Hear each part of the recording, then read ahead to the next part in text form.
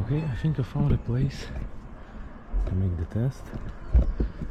So I'm not certain what what setting should I use for the GoPro Hero 10.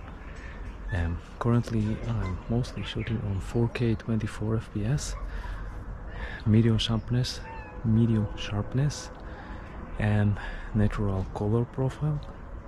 But I want to test the flat color profile uh, against versus the natural color profiles and I will exclude the vivid because I don't like oversaturation. And I will test those settings on 2.7k 4k and 5.3k so I will pass 1080p because it's just very soft so right now I'm shooting on 4K 24 FPS, medium sharpness, neutral color profile, and now okay, now it is on 4K 24 flat colors. And this is how it looks like. You can turn around, show the sunset. Now let's switch to 5.3 and see the difference it is on 5.3k flat color profile. And this it looks like this is the highest resolution obviously.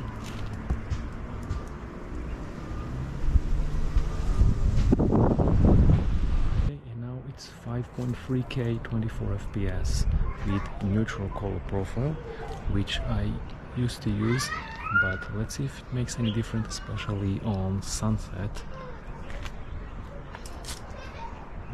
I always feel like I'm stepping on shit somewhere. So this is the highest resolution at 24k.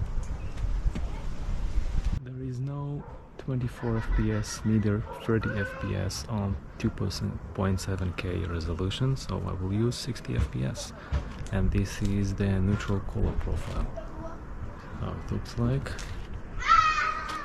and as I said we'll be excluded 10 1080p because it's just too soft to my taste. And this is 2.7K 60 FPS with flat colors.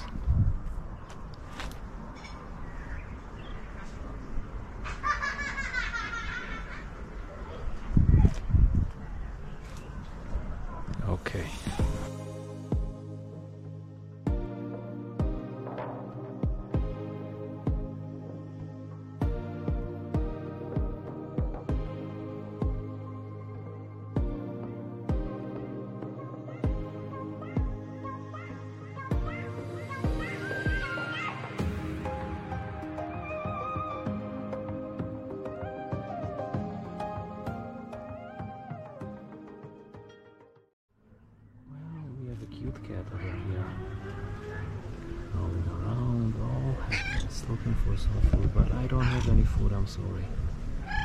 No I don't have any food.